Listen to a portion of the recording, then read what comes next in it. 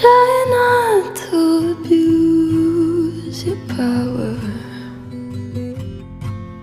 I know we didn't choose to change.